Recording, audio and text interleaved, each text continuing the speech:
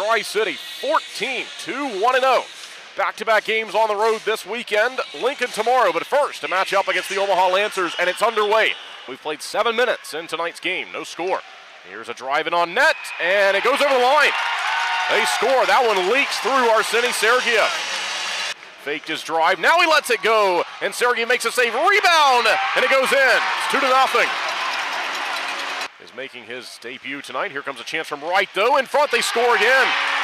It's three to nothing. Montgomery onside, lays it in front, looking for a shot. They fire and score. And there's one on the board for the good guys. Tanner Adams. It's three to one.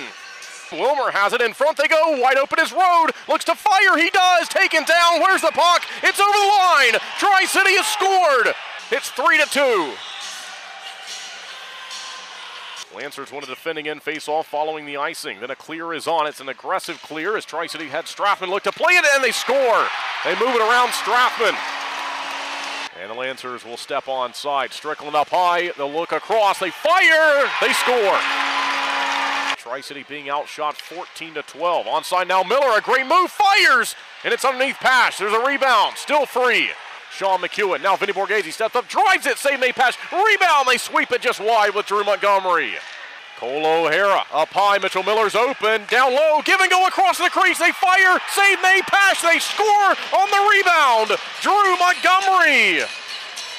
O'Hara Centers in front, trying to put it in off the netminder. It's free. They're looking for it. It's still free. They score. It goes over the line. Brindley lost his helmet, but I think he scored a goal.